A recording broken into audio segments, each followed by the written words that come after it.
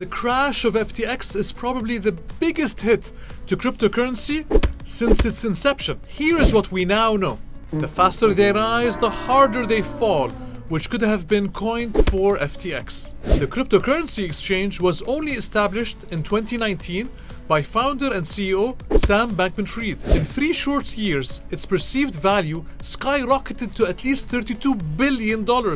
By November, rumors spread that all was not well at FTX. On November 2nd, a leaked balance sheet highlighted irregularities. Two days later, the CEO of rival Binance ordered the liquidation of all holdings in FTX's native token, FTT, and after a brief due diligence, decided not to bail out the failing FTX. Bankman Fried was reported to be putting a $9 billion rescue package together. However, FTX started Chapter 11 bankruptcy proceedings on November the 11th, ending its meteoric rise with an equally meteoric fall.